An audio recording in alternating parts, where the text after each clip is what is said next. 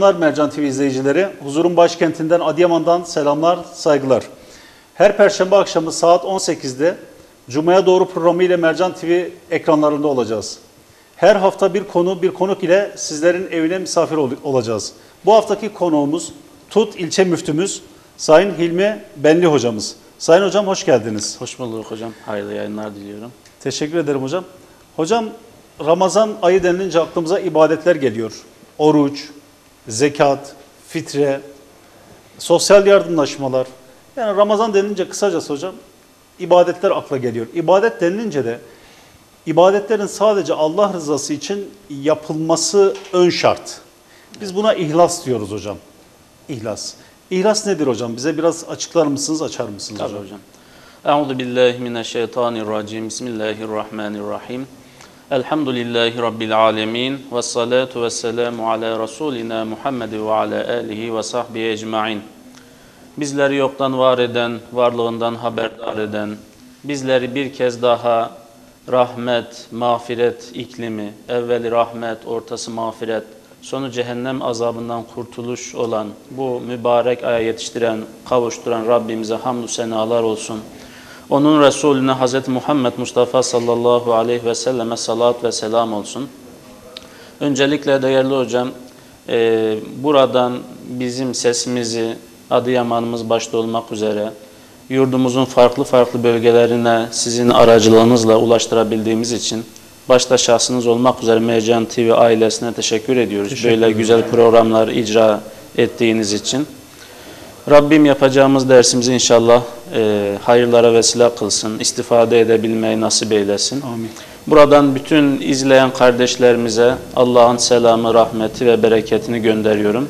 Bir kez daha Ramazan şeriflerini tebrik ediyorum. Rabbim bu ayı en güzel bir şekilde istifade edebilmeyi bizlere nasip eylesin. Amin. Evet değerli hocam bugün inşallah sizin de buyurduğunuz üzere ihlastan bahsedeceğiz. İhlas sözlükte saf duru, katışıksız manalarına gelmekte. Ancak e, ıstılah olarak baktığımız zaman e, ihlas kelimesini bir inançta ihlas, bir ibadette ihlas, iş hayatında veyahut da çevremizle yaptığımız münasebetlerde ihlas diye tabii ki özetleyebiliriz.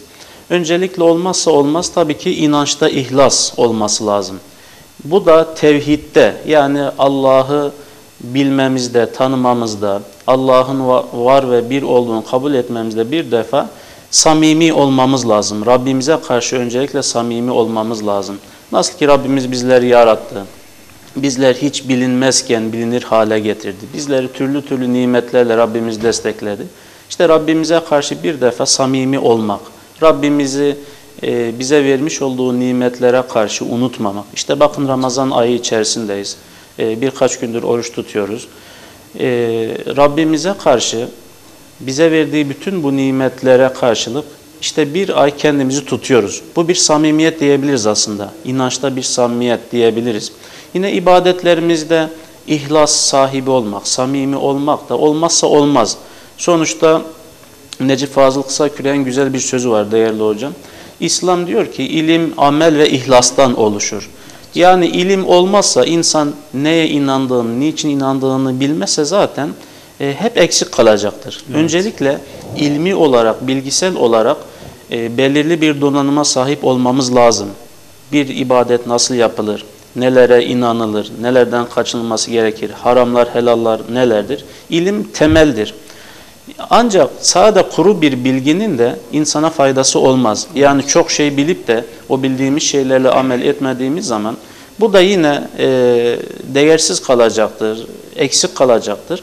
İşte bunu amellerle süslemek, amellerle bunu e, bildiğimiz bilgiyi süsleyebilmek ve yaptığımız amelleri de ihlas içerisinde yapmak ki kilit noktası herhalde bu olsa gerek. Yani burada hemen İmam Bilgivi Hazretleri'nin Avamil'de geçen çok güzel bir sözü var. Onu hatırladım. Ee, buyuruyorlar ki çok güzel bir söz hakikaten. Hele kennâsü illel alimun. Bütün insanlar kaybetmiştir, helak olmuştur. Ancak alimler hariç. Yani alimleri bütün insanlardan istisna ediyor. Alimlerin değerini bu sözünde ortaya koyuyor. Ancak alimler de e, kurtaramıyor kendisini. Ve helekel alimune illel amilun. E, alimler de helak olmuştur. Alimler de kaybedebilir. Ancak bir şartla ancak alim bildiği ilmiyle amil olursa, ibadetini yaparsa, amelini yaparsa, salih amel yaparsa ancak alim kendisini kurtarabilir. Peki sadece salih amel işlemek yetiyor mu? Amelde bulunmak yetiyor mu? Devam ediyor. Ve helekel amilune illel muhlisun. O amel edenler, salih amel işleyenler de belki kaybedebilir. Ancak sadece salih, ihlaslı, samimi bir şekilde ibadetlerini yaparsa ancak o zaman kurtarabilir kendisinde İmam Bilgiyo Hazretleri güzel bir söz söylüyor. Hakikaten öyle. Yani bizim ihlasımız, samimiyetimiz olmadığı zaman belki çok iş yapmışızdır, belki çok bilgiliyizdir ancak yarın Rabbimizin huzuruna gittiğimiz zaman e, samimiyet yoksa, ihlas yoksa, Allah rızası yoksa bunların belki de hiçbir karşılığının olamadığını görebileceğiz ki bu da maalesef acı bir durum. O halde hocam ibadetlere ruh veren samimiyettir ve ilme de ruh veren ibadetlerdir. Aynen hocam. Yani Evet. bir silsile. En başta bir defa samimi ve ihlaslı olacağız. Sonra bilgimizle, ibadetimizle inşallah o zaman kamil bir mümin olmaya çalışacağız. Bakın Beyne suresinde Rabbimiz şöyle buyuruyor. Ve ma umiru illa liyabudullaha muhlisin lehu dine hunefe. Yani bu ayet-i kerimede Rabbimiz Yahudi ve Hristiyanların onların dini Allah'a has kılarak, Allah'ı birleyerek halis, samimi bir kul olmakla ancak emredilmişlerdir diye Yahudiler ve Hristiyanlar üzerinden Rabbimiz burada bize bir mesaj veriyor. Yani siz daha e, Müslüman olurken, İslam'a girerken, imana başlarken öncelikle samimiyeti unutmayın, ihlaslı olmayı unutmayın diye Rabbimiz bu konuda bizi uyarmakta değerli hocam. Yine e, Hac suresinde özellikle ihlas ve samimiyet dediğimiz zaman aklımıza gelecek en önemli ayetlerden, birinci sırada gelebilecek ayetlerden diyebiliriz. Le yenalallaha luhumuha ve la dimauha velaki yenalhu takva minkum. Yani Rabbimiz burada belki kurban ibadeti üzerinden bu ayet bize hitap ediyor. Yani o kestiğiniz kurbanların ne etleri veyahut da ne de kanları Allah'a ulaşmaz. Bilakis Allah'a ulaşacak olan tek şey vardır ki o da sizin takvanız. Yani sizin Samimiyetiniz. kalbinizden o ihlasınız. ibadeti yaparken o kurban ibadetini hangi amaçla yaptınız? Yani maalesef toplumda bazen biz şahit olabiliyoruz. Bir iş yaptığımız zaman kurban olsun veya başka bir ibadet olsun, başka bir hayır hasanat olsun. Bunu dillendiriyoruz yani işte şöyle bir iş yaptım bunu insanlar görsün, insanlar bilsin. İşte Rabbimiz biz de şu, e, bize şu mesajı veriyor. Ey kullarım sizin yaptığınız işlerin büyüklüğüne çok takılmayın. Veyahut da çok büyük işler yaptınız, fazla iş yaptınız bunlara çok takılmayın. Önemli olan sizin niyetiniz, samimiyetiniz, takvanız, kalbinizde hangi niyetle yaptığınız. e, ben buna bakarım diyor yani tabiri caizse. Hocam Biz Hazreti de inşallah de bu anlamda bir sözü vardı. Evet. Amellerinizin çokluğuna değil makbul olup olmamasına bakın Aynen diyor. öyle. Hazreti Ali Efendimiz. Evet çok güzel hocam yani aynı noktadan Aynen hocam. Yani çok yaptınız. iş yapabiliriz ancak eğer dediğim gibi bizim niyetimiz Allah rızası için değil de işte insanlar beni görsün, insanlar beni işte cömert bilsin, beni çok e, abid biri bilsin diye iş yaptığımız zaman o zaman yaptığımız işlerin e, bir de bakacağız ki belki hiç elimizde bir şey kalmamış. Yine Ahmet bin Hanbel'le bir hadis var onu da paylaşalım. Ehabbu ma taabbedeni bihi abdi ileyye en nushu. E, bu hadis-i şerifte Efendimiz diyor ki e, Rabbimiz Rabbimize izafe ederek Allahu Teala'nın e, bu hadis-i şerifini söylediğini yani kutsi hadisi bildirdiğini hadis. bildirerek kulumun e, bana en sevimli olan şey yani yaptığı işlerden, yaptığı ibadetlerden bana en sevimli geleni samimi olmasıdır diyor Ahmet bin Hanbel'e geçen bu hadis-i şerifte. Yani demek ki biz samimiyetimizi gösterdiğimiz zaman, ihlaslı bir şekilde işlerimizi yaptığımız zaman inşallah o zaman bunun tadını da alacağız. Rabbimiz katında da yaptığımız amellerin kat kat fazlasıyla inşallah almanın yolu samimiyettir diyebiliriz değerli hocam. Yani bir de iş hayatında da ihlas, ona da dikkat etmemiz gerekiyor. Yani inançta ihlas dedik, ibadette ihlas dedik. İş hayatında ve insani ilişkilerde de ihlası elden bırakmamak lazım. Yani ne demek inançta, e, insani ilişkilerde ve iş hayatında ihlas sahibi olmak, samimi olmak? Yani helalından kazanabilmek. Bir mal kazanırken tabii ki insanda kazanma hırsı var. Zengin olma hırsı var. Mal kazanırken, paramızı kaz- kazanırken, rızkımızı elde ederken bunun helalinden az da olsa helalinden kazanmaya gayret göstermek.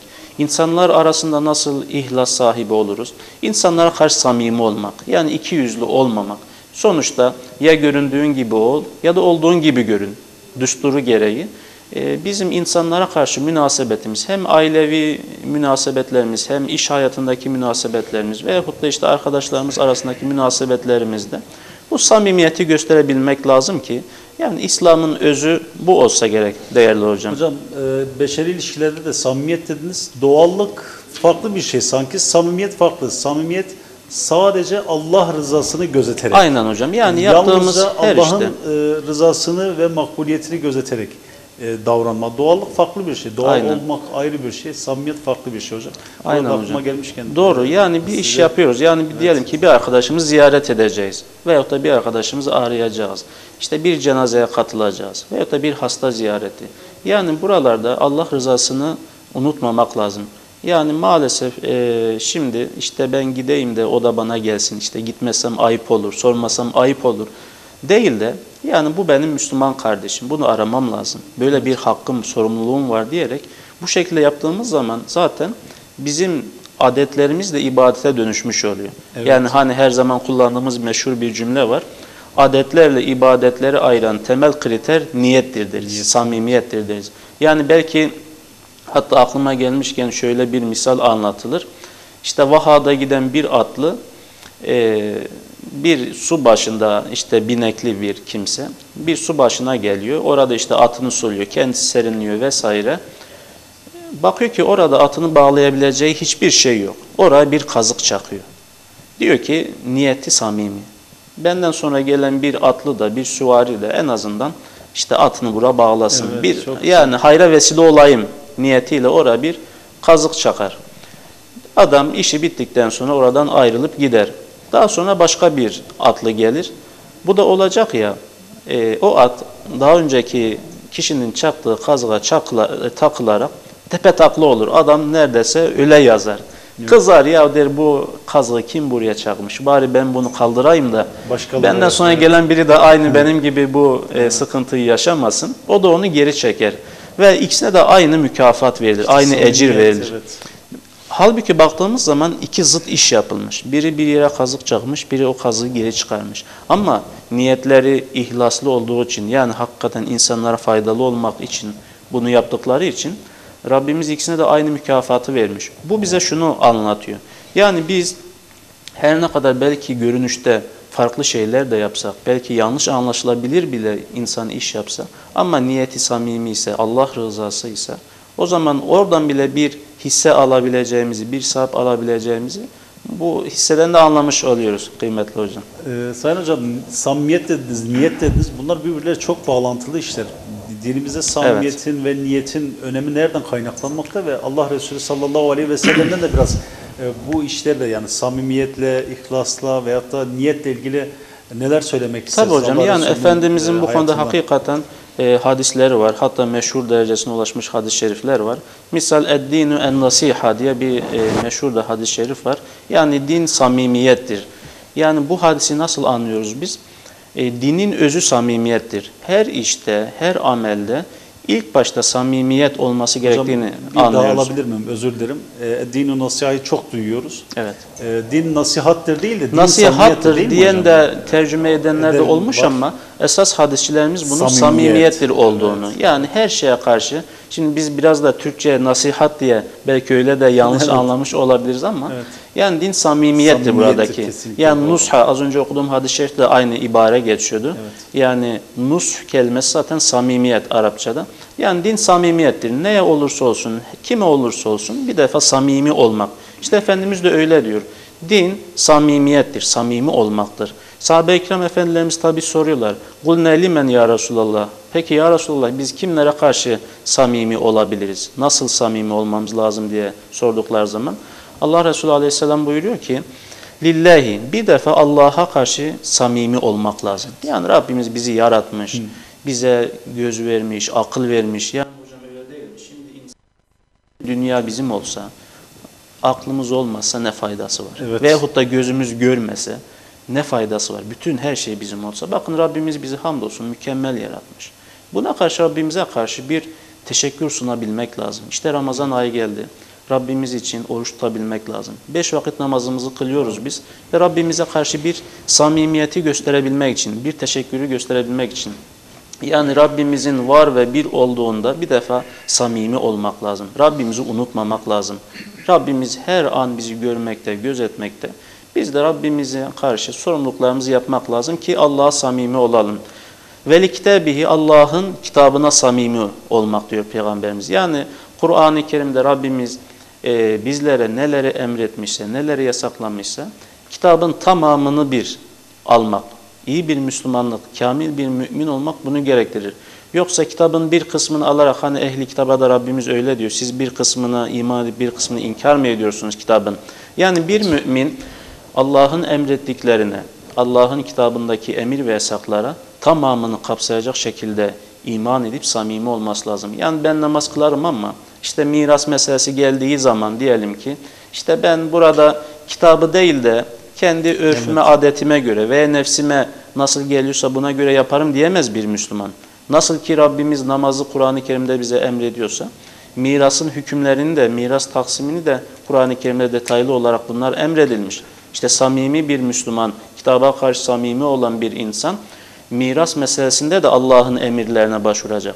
Ailevi münasebetlerde, nikahta, talakta, boşanmada vesaire bütün hayatımızın taharetten başlayarak vasiyete kadar, insan doğumundan ölümüne kadar dinimiz her şeyi emretmiş. Herhangi bir boşluk yok. İşte mümin bunlara karşı samimi olması ne demek? Hepsini bir uygulayabilmesi, herhangi birinin devre dışı bırakmadan. Veli Rasulihi, Allah'ın Resulüne karşı samimi olmak.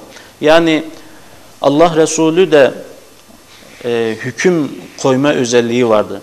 وَمَا آتَاكُمُ الرَّسُولُ فَخُذُوهُ وَمَا نَهَاكُمْ عَنْهُ فَانْتَهُ Yani Kur'an-ı Kerim'de Rabbimiz buyuruyor ki Allah Resulü size ne emretmişse onu alın.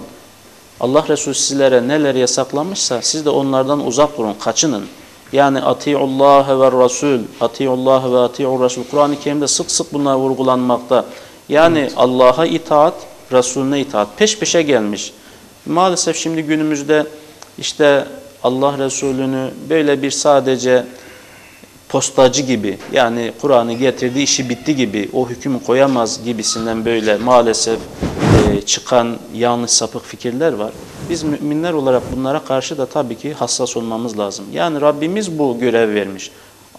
Nasıl ki bana itaat ediyorsanız, Allah'a itaat ediyorsanız, Resulüne de, Resulüme de itaat edin diye Rabbimiz bu emri vermekte.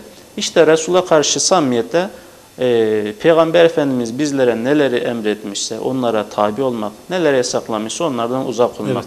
Ve li eymmetil müslimine ve ammetim yine Müslümanların idarecilerine samimi olmak yani onlara itaat edebilmek. Bu da samimiyettir. Peygamberimiz öyle buyuruyor hadis-i şerifte. Yani sizin içinizdeki o ulul emre, sizin idarecilerinize itaat etmek de bir Allah'a karşı samimi olmaya yani kurallara, neticesidir. hukuka değil Aynen. mi hocam? Yani Sonuçta oradaki ulul emr derken sadece ulul emrin kendi şahsına değil ama orada e, kurallara, hukuka riayet edilmesi, kırmızı ışıkta durulması Aynen değil mi öyle. hocam? Böyle anlamak da mümkün. Yani değil. sonuçta her yerde hocam bir kanun, bir düzen olmak Düzen olmalı, zorunda. evet. Olmak zorunda ve insanlar da bu düzene uyarsa insanlar bir arada huzurlu, mutlu yaşar. E, kimse düzene uymazsa, baş kaldırırsa o zaman her yerde huzursuzluk çıkar. İşte İslam evrensel, işte İslam'ın evrensel olduğunu buradan anlıyoruz. İnsanlar huzursuzluğa yol açmasın diye, birbirine düşmesin diye idarecilerinize itaat etmeyi bir dini vecibe olarak bizlere göstermiş ki huzur olsun bir yerde. Evet. İtaat olursa huzur olur. Ve diğer Müslümanlara karşı da samimi olun diyor hadis-i şerifte Efendimiz. Yine Peygamber Efendimizin şu hadisi yani söylenmesi elzem Evet. olan hatta bu hadis için Ebu Davud Hazretleri demiş ki sünnen sahibi İslam'ın üçte birini bu hadisle biz anlayabiliriz. İmam Şafii Hazretleri ilmin yarısıdır demiş. Buhari Hazretleri her e, kitap yazan muhakkak bu hadis kitabının başında zikretsin dediği çok önemli ve samimiyeti, ihlası bize en güzel şekilde anlatacak. Hadis ki innemel a'malu bin niyet. Hepimizin yani Evet. ezbere bildiği, çocukluğumuzdan bu yana sürekli duyduğumuz hadis-i şerif ki ameller niyetlere göredir. Yani sizin yaptığınız amellerde niyetiniz amelinizi ön plana çıkaracak. Ve inneme likulli imre. Yani her kimseye yapmış olduğu niyetine göre karşılık vardır. فَمَنْ كَانَتْ هِجْرَتُهُ اِلَى اللّٰهِ وَرَسُولِهِ فَهِجْرَتُهُ اِلَى اللّٰهِ وَرَسُولِهِ Kim de yani hicret yaparken Allah ve Resulünü e, birinci plana alarak Allah ve Resulü için hicret yapmışsa Evet. hakikaten bu Allah ve Resulüne hicret etmiştir ve mükafatını alır. Ancak وَمَنْ كَانَتْ هِجْرَتُهُ لِدُنْيَا يُصِيبُهَا اَوْ اِمْرَأَةٍ يَتَزَوَّجُهَا Kim de diyor ki hicret ederken tabi hicret e, esnasında bu hadis-i şerif anlatılmış. Yani dünyalık bir şey için veyahut da sevdiği bir kadın içinse فَهِجْرَتُهُ اِلَى مَا هَاجَرَ اِلَيْهِ Onun hicreti de o niyetinedir sadece. Yani bu hadis-i şerif Efendimiz niye anlatmış? Sebebi vurudunu da anlatalım. Evet. Şimdi tabii ki Mekke'den Medine'ye hicret oluyor malumunuz. Herkes Allah ve Resulü için hicret ediyor. Dini mübini İslam için. Başka bir gaye yok. Ancak e, bir kimse işte Ümmül Kays adında sevdiği bir kadın var. Ümmül Kays da Mekke'den Medine'ye hicret ettiği için kendisi de o kadın için Mekke'den Medine'ye hicret ediyor. Yani aslında hedefi Allah ve Resulü değil de Ümmül Kays için. Hatta sahabe arasında muhaciri Ümmül Kays demişler buna. evet, yani sen evet, Ümmü evet. Kays'ın muhacirisin. Çünkü Ümmü Kays için hicret ettin ya. O şekilde hatta takılmışlar, söylemişler, gülüşmüşler vesaire. İşte Efendimiz bu olayı duyunca bu özlü sözü söylüyor. Yani belki de hiç kulağımızdan çıkmaması gereken önemli bir söz. Her adım atarken, her sözümüzü söylerken zihnimizde olması gereken söz. Demek ki biz ne yaparsak yapalım Rabbimiz niyetimize göre karşılık verecek. Çünkü niyetil mümini hayrun min ameli. Müminin niyeti niyet amelden daha hayırlı. hayırlıdır. Bizim niyetimiz samimi olsun ki yaptığımız amellerde bereketli olsun. e, karşılığını Rabbimiz huzurunda alabilelim diye Efendimiz bizlere böyle bir nasihatta bulunmuş. İzleyicilerimize de e, benim tavsiyem unutmasınlar bu hadis. En azından şu bölümünü innemel a'malu bin niyet. Ameller Ameller niyetlere niyetlere göredir. göredir, evet. Bu hadis-i şerifin bu kısmını unutmayalım ki yaptığımız her şeyde Allah rızasını gözetelim. İnsanlardan beklentiye girmeyelim. İnsanların razı olması için değil de Allah için yapalım. Çünkü Rabbimiz bizden razı olursa değerli hocam. Yani yeter bizim için. Bütün insanlar bizi sevse, bütün insanlar e, bizden memnun, hoşnut olsa. Ancak eğer Rabbimizi hoşnut edememişsek o zaman hiçbir faydası yoktur. Ancak biz eğer Rabbimizi hoşnut edebilmişsek, Rabbimizi razı ve memnun edebilmişsek o zaman hiç bizi kimse sevmese de Evet. yarın ilahi huzurda Rabbimizin bizden razı olması yeter ve artar bile. Değerli hocam dinimiz niyete o denli önem veriyor ki yani bir insan bir güzel bir işe, güzel bir amele niyetlenir de e, onu yapamasa bile oradan sevap alacağını Efendimiz bizlere bildiriyor. Bakın hadis-i şerifte öyle buyruluyor. Men se'elallâhe şehâdete bisidgin bellagahullahu menazile şühedâ ve in mâte alâ firâşî. Yani Efendimiz buyuruyor ki bir kimse eğer hakikaten şehit olmayı arzu ederse Allah muhakkak onu şehitlik mertebesine ulaştırır. Her ne kadar kendisi yatağında ölse yani evinde ölse bir savaşa katılamasa bile onun arzusu, niyeti hep şehit olma arzusunda olduğu için Allah ona o mükafatını vereceğini Efendimiz bizlere bildiriyor. Yani Halid bin Velid tabii ki burada hemen aklımıza Evet, geliyor. aklımıza geliyor, yani doğru. bütün hayatı hep savaşlarla geçmiş. Yani İslam'ın şehirler fethetmesinde, galip gelmesinde, İslam'a büyük hizmetlere dokunmuş ve belki de vücudunun birçok yerinden yara almış. O savaşlar neticesinde gazi olmuş. Ancak ne var ki e, yatağında ölmüştür. Yani üzülür, ağlar hatta işte ben bu kadar savaşa girdim çıktım da işte şehitlik nasip olmadı diye üzülür de işte bu söz hatırlatılır kendisine. Yani sen yatağında belki ölüyorsun ama sen şehitlik arzusunda olduğun için, şehit olmayı hep istediğin için Allah sana şehitlik mertebesini verecektir diye arkadaşlar bu şekilde teselli etmişlerdir. Yine başka bir hadiste değerli hocam şöyle buyruluyor.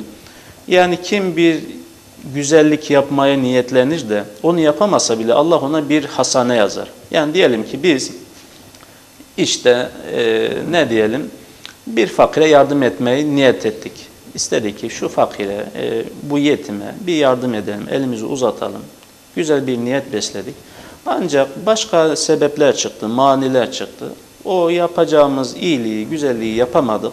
Halbuki bunu içimizden geçirmiştik. İşte Allah e, o niyetimize binaen bize bir iyilik vereceğini Efendimiz bildiriyor. Ancak bir kimse bir güzellik, bir iyilik yapmaya niyetlenir de onu yapamasa bile şey onu yap onu yaparsa, Yaparsa, kendi samimiyetine göre, ihlasına göre Rabbimiz işte 10 katından başlamak üzere 700 katına kadar hatta daha samimi ise, daha ihlaslı bu işi yapmışsa yani daha da fazlasıyla ona karşılık vereceğini Efendimizin hadisinden anlıyoruz. Yani eee, toparlayacak olursam hocam İnsanın kalbi çok önemli. Efendimiz öyle diyor ki inne fil cesedi mudgaten. İnsanın işte bedeninde bir et parçası, bir organ var ki ona dikkat edin. O eğer düzgün olursa bütün beden düzgün olur. Eğer o bozuk olursa bütün beden bozuk olur diye bizi uyarmış Efendimiz. İşte kalbimizi biz doğru tutacağız. Kalbimizi samimi tutacağız ki inşallah ondan sonra her işimiz zaten güzel olacaktır. Hocam tam Kıymetli da hocam. burasında e, kalp bozulunca samimiyet gidiyor, ihlas gidiyor değil mi? Maalesef. Niyet bozuk oluyor. Niyet bozulunca samimiyet gidince bu sefer e, ameller gösteriş oluyor. Ameller riya oluyor, sübha oluyor. Maalesef. Tribüne oynamak oluyor değil mi Aynen hocam? hocam. Yani e, ihlasın tam karşısında gösteriş, e, riya, Riya, süma var. Hocam bize riya ve süma arasındaki farkı ve bunları Evet. anlatabilir misiniz, açıklayabilir Ee, misiniz? değerli hocam riya yani Arapçadan zaten gösteriş demek. Yani yaptığımız işleri göstermek, işte tribünler oynamak, sizin de buyurduğunuz üzere. işte insanlar beni görsün, beni işte ön saflarda görsün, beni iyi bilsinler, beni cömert bilsinler. Müslüman'a da duyurmak aslında hemen hemen birbirine yakın kavramlar. İşte bir iş yapalım da bir şekilde duyuralım. İşte hani bazen şeytan çünkü bastırıyor. Şeytan istiyor ki e, şeytan birinci gayesi her zaman insana salih amel işletmemektir. Onu başaramazsa baktı ki bu adam bu salih ameli işleyecek. O zaman bu sefer şeytan şuradan yaklaşıyor. Diyor ki bu zaten bunu yapacak. Artık engel olamıyorum. Bari buna riya karıştırayım ki yaptığı iş boşa gitsin. Diyelim ki bir iyilik yap, yapmış. İşte bunu toplumda tutamıyor kendisini. Bunu illaki anlatıyor. İşte zamanda e, ben sana şu iyiliği yapmıştım. Bak ben olmasaydım işte sen ne sıkıntılar yaşayacaktın. Zor zamanda yanında oldum vesaire bunu başa kalkma. Maalesef bu bir hastalıktır. İşte bu riyadan, bu gösterişten, bu başa kalkma hastalığından kendimizi kurtarmamız la- lazım. Bakın Rabbimiz Bakara suresinde şöyle buyuruyor. Ya eyyühellezine amenu la tubtilu sadakatikum bil menni vel eze. Ey iman edenler vermiş olduğunuz sadakaları başa kalkmakla, e, fakire eziyet etmekle sakın bunları boşa çıkarmayın. Yani bu ayet bize şunu anlatıyor. Eğer biz bir iyilik yaptığımız zaman, bir sadaka verdiğimiz zaman, eğer bunu başa kalkıyor isek e, veyahut da eziyet ediyor isek, işte eziyet etme nasıl olabilir? Toplumda rencide etmek ve göstere göstere vermek. İşte diyelim ki şimdi Ramazan artık insanların zekatını, fitresini... Hocam ben oraya gelecektim. vereceği- Ramazan ayında hayır Evet. hasenat o sorun vardı aslında. Madem öyle oldu özellikle Ramazan ayında yapılan hayır hasenatın e, gizli yapılması mı eftal işte açıktan söyle yapılması mı ve bir de işin içine ihlasta katarak hocam neler söylemek Evet. istersiniz? E, cümlenizi Tabii ilk- devam bir, ettirebilirsiniz evet, hocam. ikisini evet. bir toparlayıp söyleyebiliriz. Yani şu an artık insanlar zekatını, fitresini genelde bizim insanımız Ramazan ayında zekatlarını verir. Zaten inşallah, Allah kabul evet. etsin. Fitremiz zaten veriyoruz. İşte hayır hasanat e, fazla yapılıyor. Bunu verirken biraz ince olmak lazım. Yani işte ayette buyurulduğu üzere karşıya bir eziyet etmeden, başa kalkmadan böyle toplumda diyelim ki caminin ortasında e, bura gel hele gel diye insanların içerisinde işte cebinden çıkarıp bir fakire para vermek onun onurunu kırmaktır. Aynı zamanda sosyal medya üzerinden ifşa Evet. edilmesi de Yani aynı. aynı dediğiniz gibi insanların bir onuru, gururu olduğunu, fakir de olsa onun bir onuru olduğunu unutmamak lazım. Bizim onu rencide etmeye, insanlar nazarında onurunu kırmaya hakkımız yok. Ee, hem o insanın kalbini kırmış oluyoruz, hem yaptığımız o iyiliği boşa çıkarmış oluyoruz. Bunları gizleyerek, yani sağ elinin verdiğin sol elin görmeyecek. Bu da hadis-i şeriftir. Yani Efendimiz kıyamet gününde hiçbir gölgen bulunmayacağı o günde Allah'ın arşının gölgesinde gölgelenecek yedi sınıf insandan bahseder ki bunlardan birinin de işte gizli sadaka veren yani sağ elinin verdiğin sol eli görmeyecek derecede bu işi gizli yapan e, insanlardan bahseder. Biz de fakiri fukarayı incitmeden, onları mahcup etmeden, ha şunu da söyleyelim e, diğer taraftan tabii ki yapılan iyilikleri e, yaymak eğer insanlara teşvik edecekse bu da güzeldir. Yani bir diyelim ki hayır organize ediyoruz. İnsanların bunu göstermek, insanlara duyurmak, teşvik etmek bu güzel bir şey. Bunu tabii yapacağız bir taraftan ancak bunu yaparken e, o verdiğimiz işte fakiri, fukarayı, yetimi onları fazla göstermeden diyelim ki kurumu ön plana çıkabiliriz. İşte diyelim ki bir e, gıda kolisi dağıtıyorsak gıda kolisini gösterebiliriz. Yeter ki o fakir fukara medyaya yansıtmayalım, onları göstermeyelim, onları mahcup etmeyelim. Ancak diğer taraftan teşvik de etmene de bir beis yoktur. Hani e, işte Tebük seferine giderken Allah Resulü açıktan e, insanlar getiriyorlardı işte vereceklerini. İşte o diyordu ben şu kadar getireyim sahabe-i kiram. Hatta Hazreti Ömer demişti ki bu sefer Hazreti Ebubekir'i geçeceğim bir yarış var. Ve malının yarısını getirmiş. Dedi ki bu sefer Hazreti Ebubekir beni geçemeyecek. Ee, ancak Hazreti Ebubekir daha sonra bütün malını getirdi. Dedi ki yine geçemedim. Yani bir yarış olması güzeldir. Bunu yaymak, insanlara göstermek, teşvik etmek iyidir. Ancak dediğimiz gibi insanları rencide etmeden. Hani bir e, hisse, kısadan hisse anlatılır kıymetli hocam. Adamın biri yağmurlu havada şemsiyesiyle giderken Evet. bakmış ki orada bir adam da şemsiyesi yok yaşarıyor yağmurun altında. Demiş ki gel şemsiyemin altına gel yaşar mı? Tabii ki adam da gelmiş yaşarmamak için. Tabii yolda giderlerken e, şemsiye sahibi ikide bir diyor ki işte ben olmasaydım bugün sen nasıl yaşarırdın? İşte ben olmasaydım e, tamamen bütün her yerin ıpıslak olurdu vesaire böyle sürekli başa kalkıyor. Adam da dayanamamış en son. Yani adamın da bir gururu var tabii ki. Kendisini orada biriken bir su birikintisine atmış tabii. Her tarafı çamur, e, yaşarmaya geçtik. Çamur olmuş. Demiş ki sen olmasaydın ben bu kadar çamura e, batmazdım demiş. Yani o insanın onurunu kırmaya, başa kalkmaya gerek yok. Bu İslam da bunu reddeder, insanlık da bunu reddeder. Hatta ayet-i kerimede bu durumu şuna benzetiyor Rabbimiz okuduğum ayet-i kerimenin devamında. Evet hocam. Vaktimiz az herhalde hemen e, Türkçe olarak toparlayalım. Yani böyle riya yaparak, gösteriş yaparak e, verdiği sadakayı başa kakan, fakir fukaraya eziyet eden durumunu aynı bir kayanın üzerinde var olan biraz toprağa benzetir ki Rabbimiz ayet-i kerimede. O toprağa bol bir yağmur yağdığı zaman nasıl ki e, kayanın üzerindeki toprağı yağmur atar götürür orada, yok eder, siler.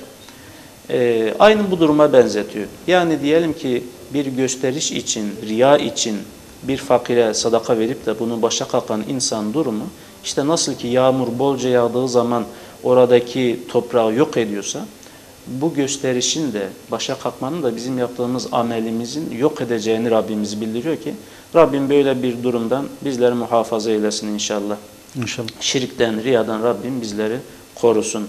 Hatta cehenneme atılacak ilk üç kimseden bahsedilir değerli hocam.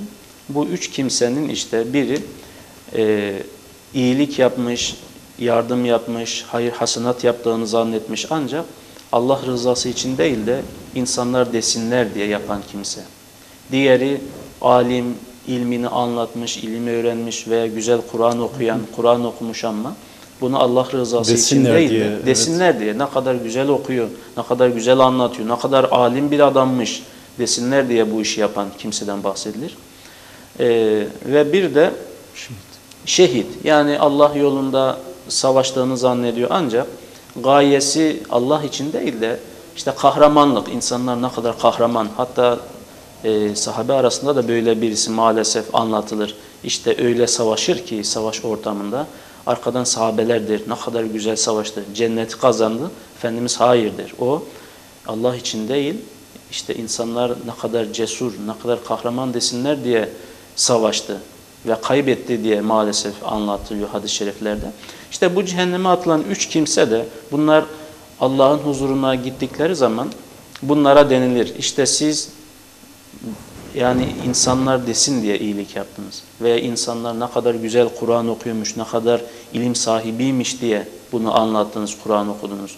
Veyahut da ne kadar kahramanmış diye siz kendiniz öldünüz, şehit olamadınız siz diye bu üçünün cehenneme sürüklenerek atılacağından hadis-i şerifler bahsediyor ki demek ki Allah rızasını gözetmeyip de eğer insanların rızasını gözetirsek, tribünlere oynarsak, insanlar bizden razı ve memnun olsun diye insan iş yaptığı zaman canını verse bile demek ki kıymetli hocam e, bir faydası olmayacağını anlıyoruz. Yani canını vermiş adam daha ne yapsın?